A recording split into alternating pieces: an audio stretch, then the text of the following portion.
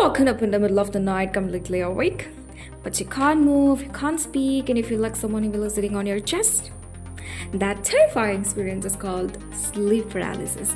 And today, we'll uncover the science and mystery behind it. What is sleep paralysis? Yes, it's a state where your mind wakes up but your body stays asleep. Occurs during REM sleep. And what is REM sleep?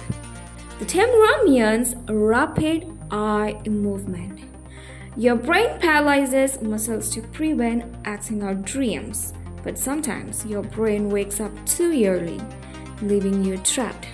And why do people see ghosts or demons? Your brain is half asleep, means hallucinations called hypnagogic when falling asleep or hypnopompic when waking up.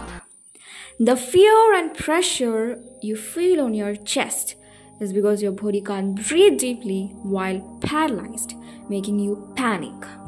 The mystery side is, or otherwise we can call it as cultural beliefs.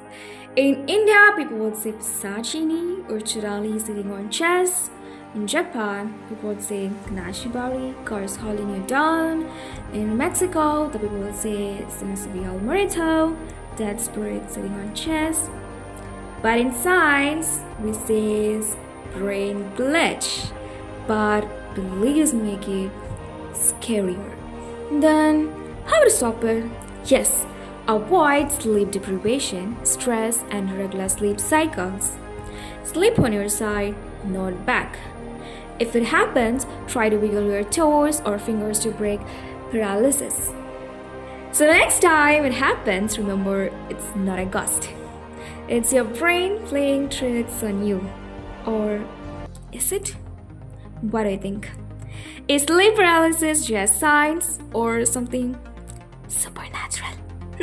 I'm just kidding. Let me know your comments on your comment section. Thank you. See you in next video.